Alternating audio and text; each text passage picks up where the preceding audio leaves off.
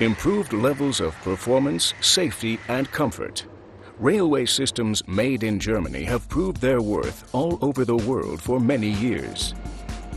Innovative railway technology has a long tradition in Germany. Here, trains were traveling at 230 kilometers an hour over 70 years ago. Even then, Hermann Kemper already had a vision of a railway operating without the use of wheels. In 1934, the certified engineer is granted a basic patent on the principle of a suspension railway. That his idea would actually work could at that time only be demonstrated experimentally. The high-performance electronic equipment necessary for the development of a magnetic induction suspension railway was not to be available for a good many years. Where advanced technologies are concerned, decades often elapse between discovery of ideas in principle and the technical possibility of their application. Things were no different for the maglev technology than for many other developments in air and space travel, or in computer and telecommunications technology. And as in any advanced technology, maglev development is continuing. Starting point for the maglev in Germany was a study commissioned in 1969 by the Federal Ministry of Transport into high-performance, high-speed railways. This encouraged consideration of totally new technologies, along with improvements in the performance of and modernization of wheel-on-rail technology to help solve traffic problems.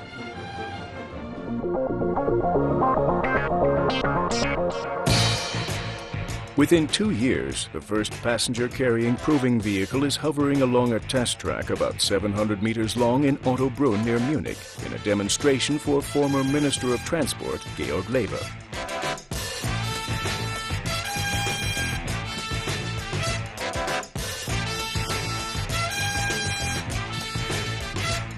A range of different development possibilities are still being pursued.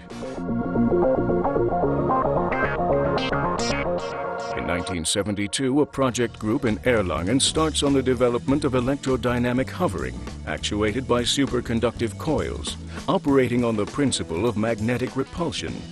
The Erlangen Proving Vehicle does its first trial circuits on the test track later that same year.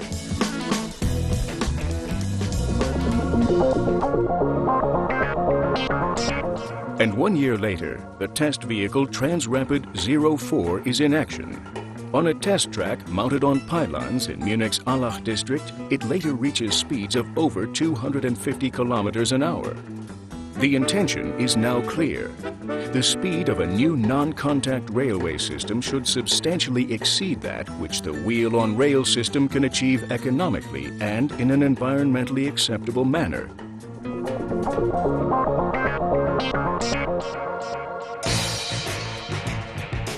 With a component measuring testing unit, the Komet, proof is furnished in 1974.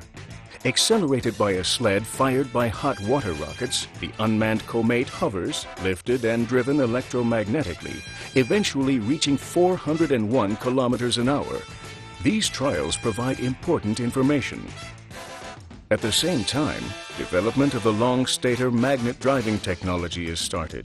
In this concept, an alternative to the line being followed at the time, the primary motive force is not installed in the vehicle, but in the actual track.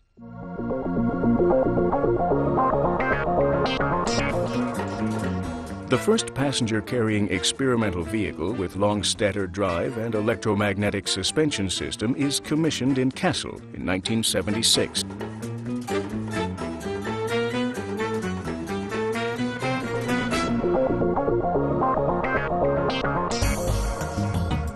After examination of a number of different developments, the federal government reaches a decision at the end of 1977. Since then, development in Germany has concentrated exclusively on the electromagnetic induction suspension system with long stator drive.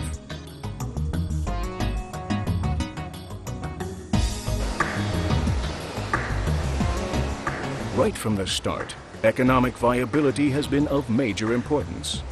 Rational construction and assembly procedures are developed to reduce the costs of modules and components of the new railway system as far as possible.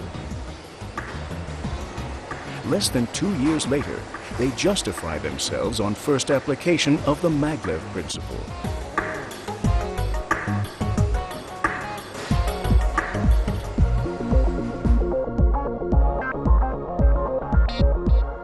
During IVA 1979, the International Traffic Exhibition in Hamburg, Transrapid 05 carries more than 50,000 passengers, including the then federal president Walter Scheel. Operating a scheduled service, the first Transrapid to be licensed for passenger carrying hovers over the 900 meter long track from Heiligengeistfeld to the exhibition ground. After the exhibition, the installation is re-erected and operated in Kassel in order to continue developing the system. The success of the Hamburg operation demonstrates that in order to test the maglev system as far as possible under service conditions in continuous operation and to develop it to production readiness, a test track is essential.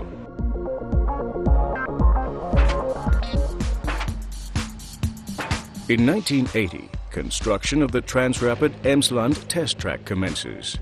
The TVE, which has a total length of 31.5 kilometers, including two loops, is constructed in two sections.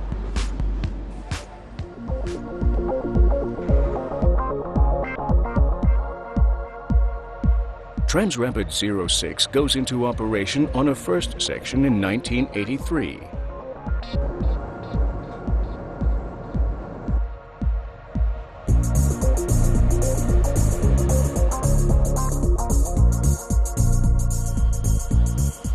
After completion of the first section of the test track, Transrapid 06, which is constructed as a two-section unit and designed for a maximum speed of 400 kilometers an hour, starts on a series of trials in continuous operation.